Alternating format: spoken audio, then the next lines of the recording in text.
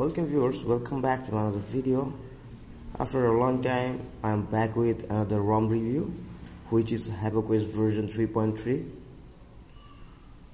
if you want to use that ROM on your daily life you guys can use so that's why I'm going to review that ROM. You can use Google Camera easily no problem on it. Here is the Gcam. It's working fine no problem. You can capture everything. First of all move on to the setting let me show you. Device model and version. It's Havoc OS Android 10 3.3 version you can see. And the security patch level is from this March. So it's totally updated. And the kernel you can see which is the stock MIUI ROM kernel. You can see this the perf, uh, perf plus. So there is no problem on it and if you guys want to change the kernel like genome magic and juice kernel whatever you can change no problem.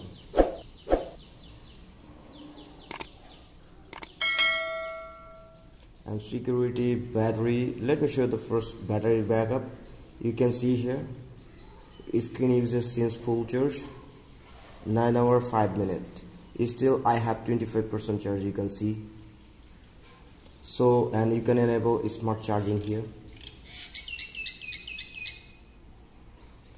and network setting you have so many options you can change.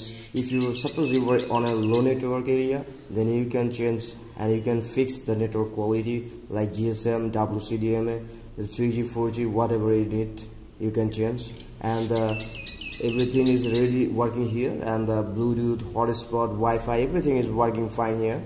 Uh, Wi-Fi connection is not available here. That's why I'm unable to show you now here and you can see the Bluetooth is working here fine no problem on it. And hotspot is working no problem. Night light screencast dark theme everything is working no problem. And you can see here the hotspot. Everything is working no problem on it. And if you know that uh, Havoc OS comes with uh, lots of customizations so you will get many customization here. Here is the customization center. You can see the status bar quick setting log screen ambient display. Everything is working fine here. I have tested no problem on it. And clock logos brightness control network traffic. You can see here the network traffic. And the, there is the header image. You can change the header image no problem and you can change the icon style. So many icons are available there. 4G icons. And VoLTE so many customization are available. I will not make the video longer because you guys already know what is inside of that ROM because you guys have tested before.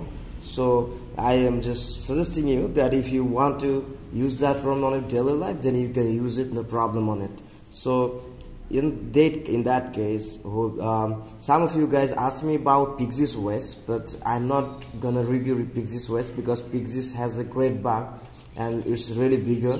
You can't use on your daily life. So that's why I'm not gonna review that Pixys OS. If uh, really a, a next build comes with good things then I will put it on my ROM selection. So no problem on it so there's a video and uh, everything is working fine here.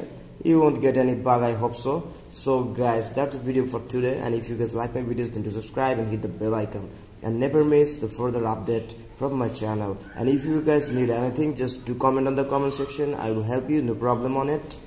So hope you guys enjoyed my video. So and one request to you guys just join my telegram channel. I will provide the link in description and that rom file as well. And uh, uh, one important thing is that the uh, that rom um, doesn't come with the included gapps so that's why you have to separately install gapps and i will provide the link in description as well. No problem. So hope you guys understand what i have told in this video. So thank you for watching